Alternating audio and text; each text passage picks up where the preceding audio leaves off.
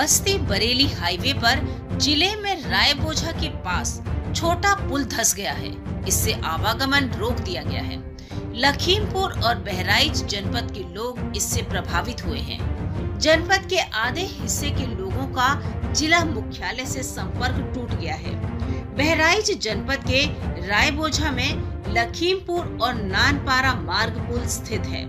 लगातार हो रही बारिश और जलभराव के चलते अब पुल और पुलिया भी चपेट में आने लगे हैं। शनिवार सुबह पाँच बजे के आसपास छोटा पुल का दोनों अप्रोच ज्वाइंट से अलग हुआ।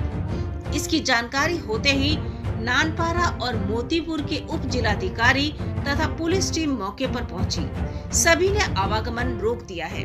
बस्ती बरेली हाईवे पर आवागमन ठप हो गया है और वाहनों की लंबी कतार लग गई है।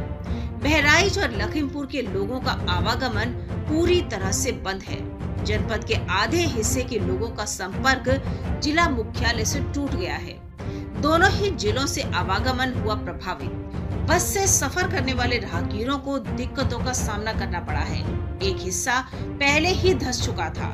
आसपास के लोगों ने बताया कि बीते तीन दिनों से हो रही तेज बारिश और नदियों का जलस्तर बढ़ने से पुल का एक हिस्सा धस गया था। इसके बाद भी अधिकारी अनजान बने हुए थे। तमाम बड़ी खबरों के लिए बने रहिए किन्नी टाइम्स के साथ। वीडियो को लाइक करें, चैनल को सब्सक्राइब करना ना भूलें।